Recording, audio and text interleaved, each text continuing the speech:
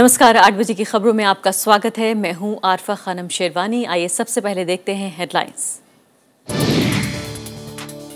प्रधानमंत्री नरेंद्र मोदी के रात्रि भोज में शामिल नहीं होंगे उद्धव ठाकरे। कल मुंबई में हो सकती है दोनों नेताओं की मुलाकात।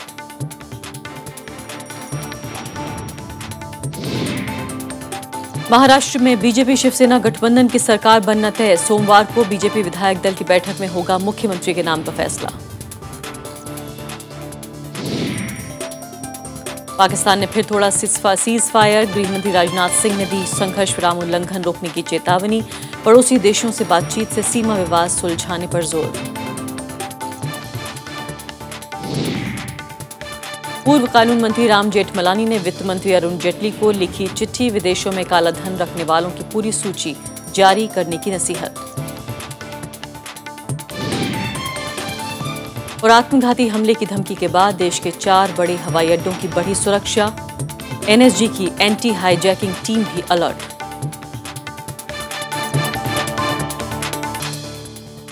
आइए अब देखते हैं पहली खबर।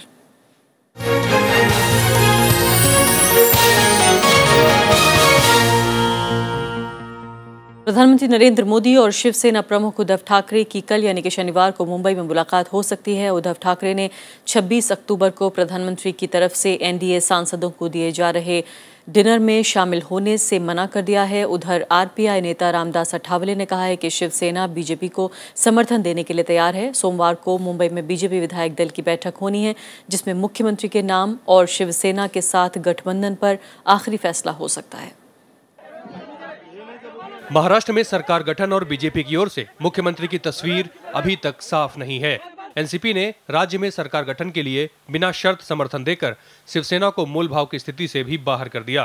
दो सौ अठासी में से 122 सीटें जीतकर बीजेपी राज्य में सरकार बनाने की स्वाभाविक स्थिति में है, लेकिन उसे किसी दल से समर्थन की दरकार है। अब पुराने साथी रहे, शिवसेना की तरफ़ से नरमी के संकेत मिल रहे हैं।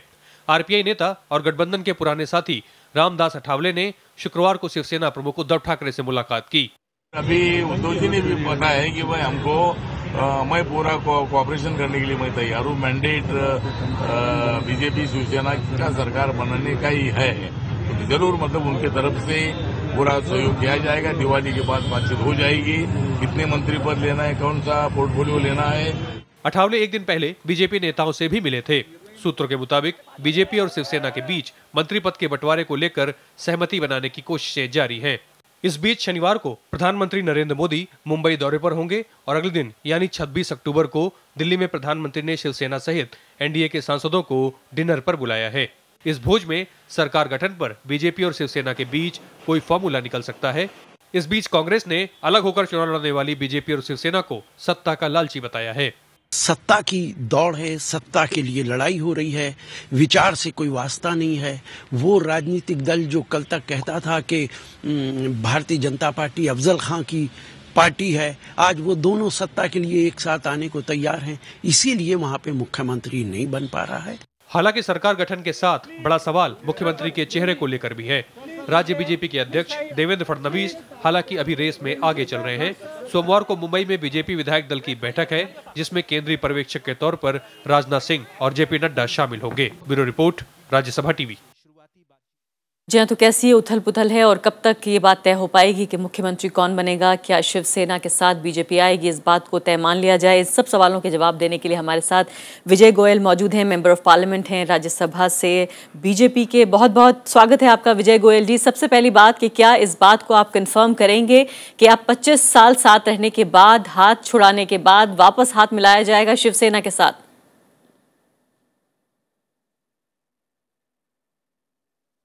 देखिए, शिवसेना के साथ भारतीय जनता पार्टी का गठबंधन बहुत पुराना रहा है, पर अनफॉर्चुनेटली चुनावों के समय के अंदर सीट एडजस्टमेंट ना होने के कारण सीटों पे तालमेल ना होने के कारण यह गठबंधन टूटा था।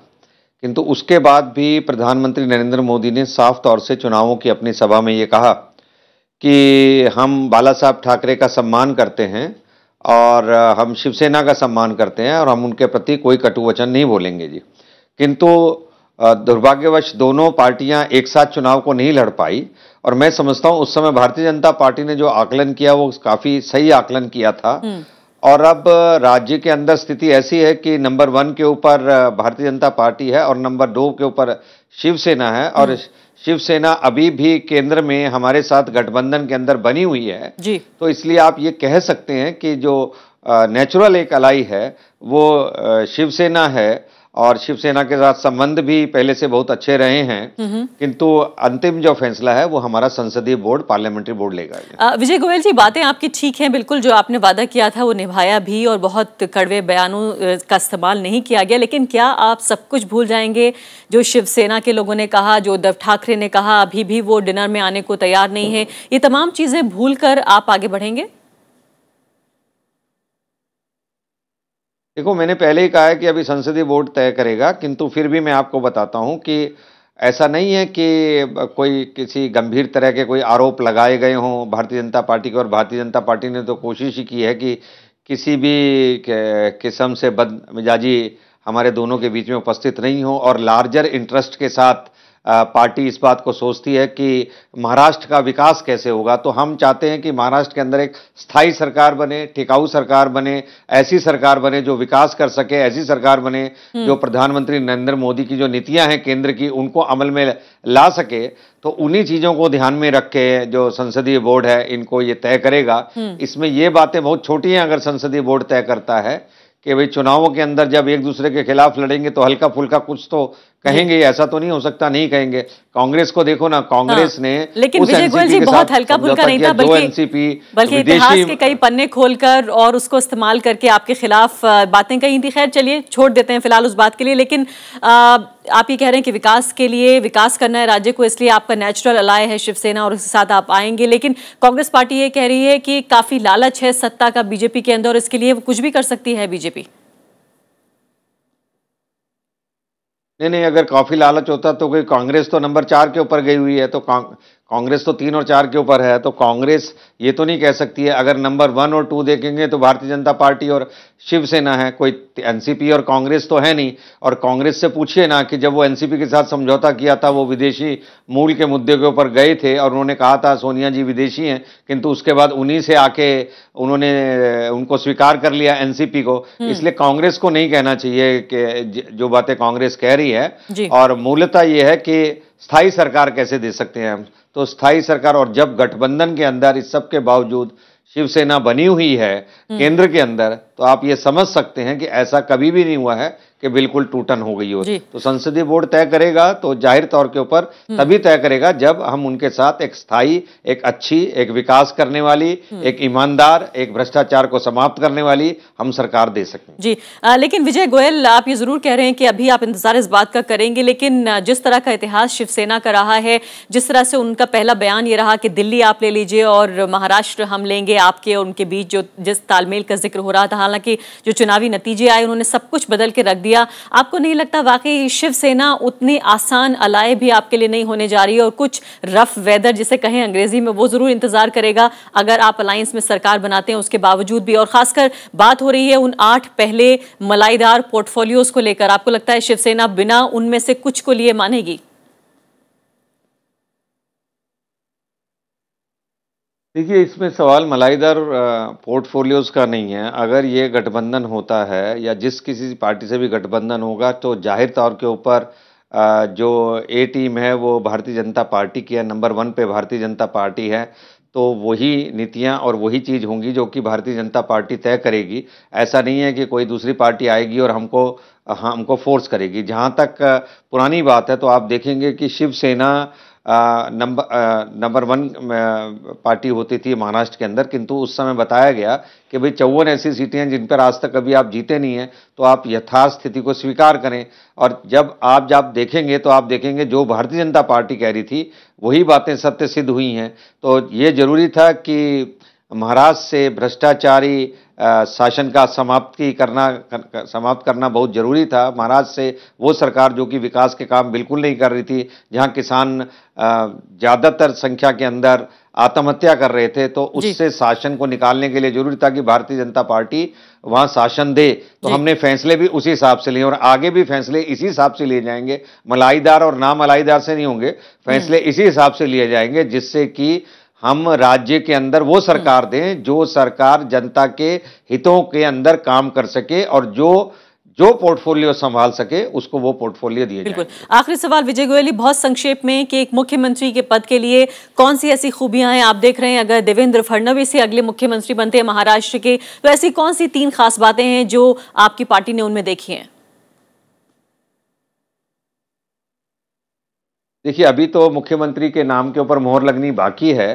फिर भी मैं ये कह सकता हूँ कि जिस समय भी राज्य के मुखिया को का चुनाव होता है तो ज़ाहिर तौर ये देखता है कि जिसके अंदर विजन हो, जो डेवलपमेंट काम, डेवलपमेंट के काम कर सके, जो सबको साथ लेके चले, और अभी तक सौभाग्यवश जितने भी नाम सामने आ रहे हैं, वे सब नाम अच्छे नाम हैं किंतु फिर भी पार्टी को एक मुखिया को चुनना है तो मैं समझता हूँ अगले दो तीन दिन के अंदर वो एक्सरसाइज भी पूरी हो जाएगी। और एक नया मुख्यमंत्री देखने को मिलेगा क्योंकि लगभग हमारे सारे चेहरे युवा ही हैं जो चेहरे इसमें समाचार पत्रों में या मीडिया के अंदर दिखाई दे रहे हैं या हम्म। जिसको पार्टी भी कंसिडर करेगी तो मैं समझता हूँ कि यही चीज़ें हैं जिसके को देखकर विजय गोयल जी बहुत बहुत शुक्रिया। आपने राज्यसभा टेलीविज़न को अपना समय दिया। फ़िलहाल आपका शुक्रिया।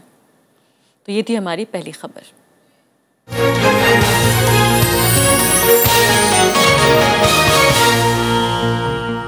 एक छोटा सा ब्रेक जल्द वापस आएँगे।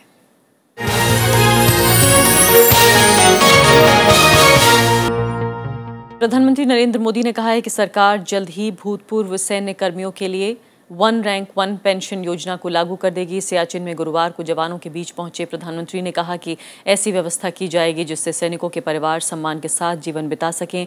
फरवरी में यूपीए सरकार के अंतरिम बजट के बाद एनडीए सरकार ने भी बजट में इसे लागू करने के लिए धनराशि का प्रावधान किया था, लेकिन सैन्य कर्मियों को अभी भी इस योजना के लागू होने का इंतज़ार है। One rank, one pension. कितने दशक बीत गए? ये सपना आपका पूरा करना मेरे ही भाग्य में लिखा हुआ है। प्रधानमंत्री नरेंद्र मोदी के इस बयान के बाद रिटायर्ड सैन्य कर्मी अपने सपनों को हकीकत में बदलने का बेसब्री से इंतज़ार कर रहे हैं। करीब 28 लाख रिटायर्ड सैन्य कर्मियों को वन रैंक वन पेंशन के लागू होने का इंतज़ार है। दीपावली के दिन सियाचिन में सैनिकों के बीच प्रधानमंत्री ने तीन दशक पुरानी उनकी मांग जल्दी लागू किए जाने की बात कही।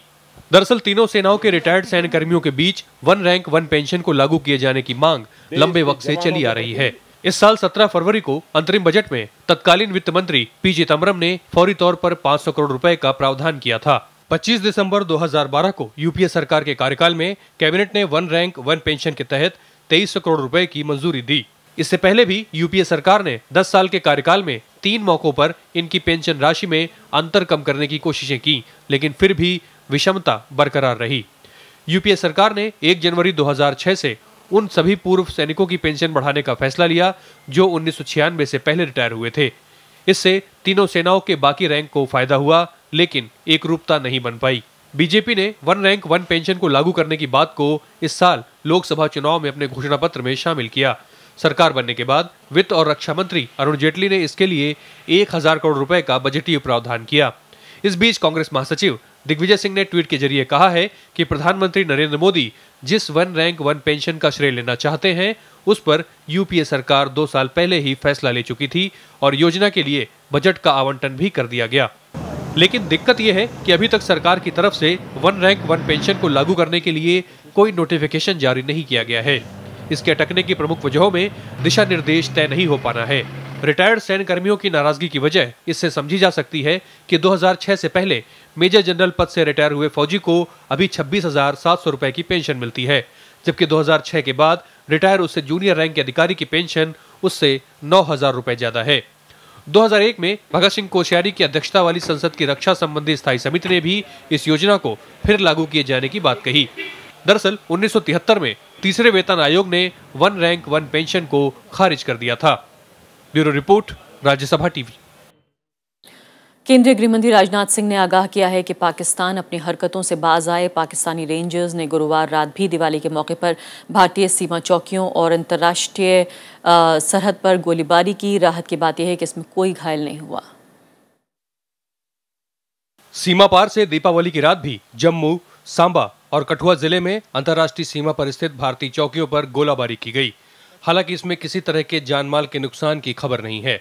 बीएसएफ के मुताबिक, गश्त के दौरान जवानों को भड़काने के इरादे से ये गोलीबारी की गई, लेकिन बीएसएफ जवानों ने संयम दिखाते हुए जवाब नहीं दिया। केंद्रीय गृह मंत्री राजनाथ सिंह ने पाकिस्तान की इस हरकत पर शुक्रवार को कहा कि हमें जवाब देना बखूबी आता है और हर हरकत का जवाब देने में सेना सक्षम है। राजनाथ सिंह के मुताबिक, ऐसी घटनाओं का करारा जवाब दिया जा रहा है। पाकिस्तान को अपनी इन हरकतों से बाज आना चाहिए। क्योंकि वह जानते हैं यह उनका जवाब देने की, मुहतोड़ जवाब देने की ताकत यह है तो हमारे भारत की सेना के अंदर है, हमारे भारत के सीएपीएफ के जवानों के अंदर है। पाकिस्तान ने जम्मू के अरनिया और सांबा के रामगढ़ सेक्टर में गुरुवार दिन में भी बेवजह गोलीबारी की थी। सीमा पार से इस महीने हुए सीज फायर उल्लंघन में 10 लोगों की जान जा चुकी है और पंचानवे लोग जख्मी हुए हैं।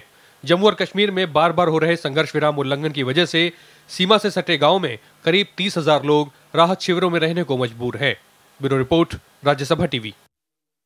Bharat ने कश्मीर मुद्दे को संयुक्त राष्ट्र में ले जाने की पाकिस्तान की कोशिश की। आलोचना की है केंद्रीय गृह मंत्री राजनाथ सिंह ने कश्मीर मुद्दे पर तीसरे पक्ष के दखल को खारिज किया है। उन्होंने बातचीत के ज़रिए सभी विवादों को सुलझाने पर एक बार फिर ज़ोर दिया। पाकिस्तान संसद में पारित प्रस्ताव पर केंद्रीय गृह मंत्री राजनाथ सिंह ने कहा कि भारत ने कभी संघर्ष विराम का उल्लंघन नहीं किया है। उन्होंने कश्मीर मुद्दे पर संयुक्त राष्ट्र के हस्तक्षेप की मांग खारिज करते हुए इसे आपसी मामला बताया और इसे बातचीत के ज़रिए सुलझाने पर ज़ोर दिया। मैं पाकिस्तान के हुक्मरानों से कहना चाहता हूँ कृपया सीज फायर वायलेशन को रोकें।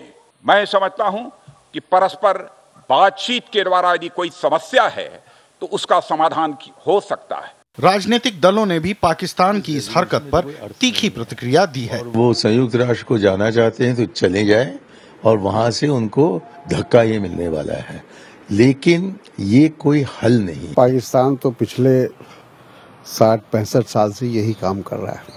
उन्नीस के बाद लगातार उसका यही प्रयास है और कभी भी उनको कामयाबी नहीं मिली है The question is that if these tensions have to be resolved, the only way they can be done is not through a war. They cannot be resolved. It will only worsen the situation, but through talks. Pakistani संसद में गुरुवार को संघर्ष विराम उल्लंघन के खिलाफ प्रस्ताव पारित किया गया जिसमें उसने कश्मीर मसले पर संयुक्त राष्ट्र से हस्तक्षेप करने की बात कही भारत शुरू से ही कश्मीर मुद्दे को आपसी मसला बताते हुए तीसरे पक्ष के दखल को खारिज करता रहा है। Bureau report, Rajya Sabha TV.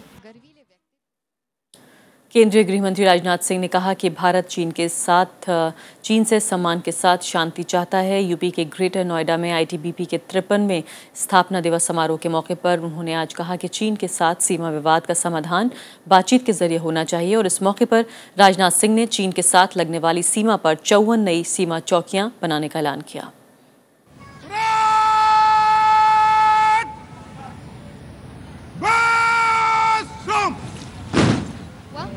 दुर्गम, बर्फीले और पहाड़ी इलाकों में देश की सीमा की सुरक्षा में डटे रहने वाले ये हैं आईटीबीपी के बहादुर जवान। ग्रेटर नोएडा के सूरजपुर में भारत तिब्बत सीमा पुलिस का तिरपनवा स्थापना दिवस मनाया गया। इस समारोह में केंद्रीय गृह मंत्री राजनाथ सिंह ने परेड की सलामी ली और जवानों का हौसला बढ़ाया। उन्होंने मुश्किल हालातों में आईटीबीपी के जवानों की सेवा की तारीफ़ की। उन्होंने कहा कि भारत चीन के साथ अच्छे रिश्ते के पक्ष में है और सीमा विवाद को शांतिपूर्ण तरीके से सुलझाना चाहता है। मैं तो चीन के हुक्मरानों से भी कहना चाहूँगा, हमारे आदरणीय प्रधानमंत्री श्री नरेंद्र भाई मोदी ने भी यह चीन से अनुरोध किया है जब चीन के राष्ट्रपति महोदय आए थे। यदि भारत और चीन को सीमा को लेकर विवाद है तो इस विवाद को परस्पर बातचीत के आधार पर सुलझाया जाना चाहिए। भारत सरकार से हमारा इस मौके पर गृह मंत्री ने आईटीबीपी के जवानों को उनकी बहादुरी के लिए सम्मानित किया। प्रधानमंत्री नरेंद्र मोदी ने भी आईटीबीपी को स्थापना दिवस के मौके पर बधाई दी है। उन्होंने कहा कि उन्हें आईटीबीपी के जवानों की वीरता दृढ़ संकल्प और राष्ट्र सेवा पर गर्व है। 24 अक्टूबर उन्नीस सौ बासठ में आईटीबीपी की स्थापना की गई थी। आईटीबीपी लद्दाख के काराकोरम दर्रे से लेकर अरुणाचल प्रदेश के जाचेपला तक फैली करीब 3,488 किलोमीटर लंबी भारत चीन सीमा पर तैनात है। आईटीबीपी ने पहाड़ी इलाकों में राहत और बचाव कार्य के साथ कई कठिन अभियानों में हिस्सा लिया है। Bureau report Rajya Sabha TV. Bharat के साथ रणनीतिक संबंधों को नई गति देने के लिए वियतनाम के प्रधानमंत्री नुएन तांग दंग 27 अक्टूबर को दो दिनों की यात्रा पर दिल्ली आएँगे। यात्रा का मकसद दोनों देशों के बीच व्यापार और वाणिज्य बढ़ाने के नए रास्ते को तय करना है। वियतनाम के प्रधानमंत्री बिहार के बोधगया जाएँगे और फिर दिल्ली में प्रधानमंत्री नरेंद्र मोदी के साथ बातचीत करेंगे। इस यात्रा के दौरान दोनों देशों के बीच कुछ अहम समझौतों पर हस्ताक्षर होने की संभावना बताई जा रही है। एशिया की राजनीति और शक्ति संतुलन के लिहाज से भारत वियतनाम के रिश्ते बेहद अहम हैं। Vietnam are robust and growing. Our trade with Vietnam during 2013-2014 was about 8 billion US dollars, registering a growth of over 30% over the previous year.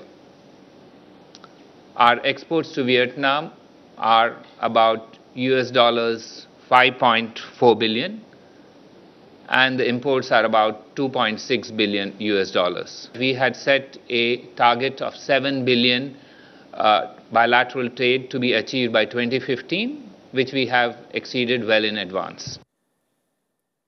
Airport authority of India को मिले धमकी भरे खत के बाद मुंबई अहमदाबाद और कोच्चि के एयरपोर्टों पर हाई अलर्ट जारी किया गया है अथॉरिटी ने एयर इंडिया की कुछ फ्लाइट्स पर फिदाइन हमले की आशंका जताई है अथॉरिटी को भेजे गए धमकी भरे खत में शुक्रवार को अहमदाबाद से कोची आ रही और कोची से मुंबई जा रही एयर इंडिया की दो फ्लाइट्स को निशाना बनाने की धमकी दी गई है। जाँच एजेंसियाँ चिट्ठी भेजने वाले की जाँच में जुट गई हैं। जाने माने वकील राम जेठमलानी ने कालाधन खाता धारकों के नाम सार्वजनिक नहीं करने पर वित्त मंत्री अरुण जेटली को चिट्ठी लिखी है। दीपावली के दिन भेजी इस चिट्ठी में। उन्होंने कहा कि वित्त मंत्री को इस मामले में किसी भी जाँच से पहले काले धन की जाँच के लिए गठित एसआईटी को उसकी जानकारी देनी चाहिए। इससे पहले वित्त मंत्री ने कहा था कि काले धन पर नाम ज़ाहिर होने से कांग्रेस को शर्मिंदा होना पड़ेगा। कांग्रेस ने चुनिंदा 136 नामों के बजाय कालाधन रखने वाले सभी लोगों का नाम ज़ाहिर करने की सरकार को चुनौती दी थी। बीजेपी नेता सुब्रमण्यम स्वामी ने भी सभी नाम ज़ाहिर करने के पक्ष में बात कही है I have given my word of advice to a finance minister. After all, I am a citizen of India. I have the right to advise him. And uh, black money is, I am the decree holder from the Supreme Court. I don't care for the BJP. I care for the people of India. Well, the best answer is to release the entire list. And that is my demand. खेल की दुनिया से खबर, boxing India को उम्मीद है कि भारतीय मुक्केबाज सरिता देवी फिर से रिंग में वापसी करेंगी। अंतर्राष्ट्रीय मुक्केबाज संगठन ने हाल ही में इंचियोन एशियन गेम्स में सरिता देवी के व्यवहार के कारण उन्हें निलंबित कर दिया था। एशियन गेम्स के सेमीफाइनल के नतीजों से असहमति जताते हुए सरिता देवी ने कांस्य पदक लेने से इनकार कर दिया था। इसके बाद ही अंतर्राष्ट्रीय मुक्केबाज संगठन ने यह फैसला लिया। हालाँकि अब तक आधिकारिक तौर पर भारतीय मुक्केबाज संगठन को उनके निलंबन के दस्तावेज़ नहीं सौंपे गए हैं, लेकिन फिर भी उनकी संभावित वापसी के लिए नए सिरे से प्रयास जारी हैं। इस बुलेटिन में फ़िलहाल इतना ही। नमस्कार।